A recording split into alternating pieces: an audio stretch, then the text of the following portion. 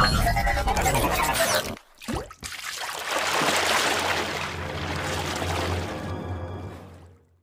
عليكم ورحمة الله وبركاته. مرحبا بكم في قناتكم قناة أجيال الأندلس. النهاردة الخبر الرياضي حاجة جميلة قوي. الكاف بيقول إيه؟ لم نتراجع بعد عن قرارنا بخصوص رئيس الزمالك. خلي بالكم في الموضوع ده. صرح رايموند هاك رئيس لجنة الانضباط بالاتحاد الأفريقي لكرة القدم كاف بأنه لا لم يتم التراجع. من جانبهم بخصوص قرار إيقاف رئيس نادي الزمالك لمدة عام. مرتضى منصور. موضحا أن الأمر حاليا ينظر من جانب المحكمة الرياضية الدولية كاف. خلي بالكم. أحمد شوبير كتب قال إيه بقى؟ ده نائب رئيس الاتحاد المصري لكرة القدم. قال لك أن كاف قبل التماس رئيس الزمالك بشأن رفع الإيقاف عنه وبالتالي سيحق له حضور النهائي الكونفدرالية بين الزمالك ومين؟ ونهضة بركان المغربي وقال هاك في تصريحاته ليلا كورة بخصوص ما أثير عن رفع الإيقاف الموقع على رئيس الزمالك هذا الأمر غير متعلق بنا في الوقت الحالي. وتابع قال لك إيه؟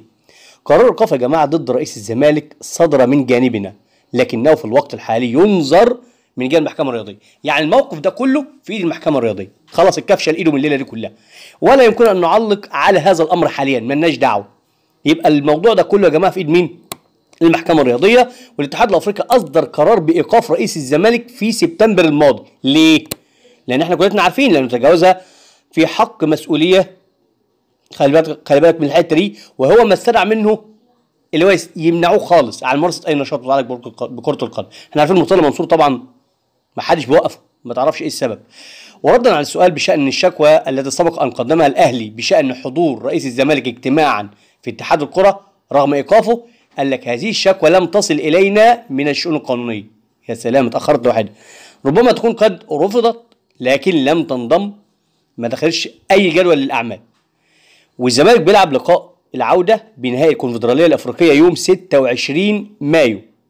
26 إيه؟ مايو ما عادش وقت على الكلام ده. هانت 26 مايو خلاص كلها 12 يوم. على استاد الجيش ببرج العرب.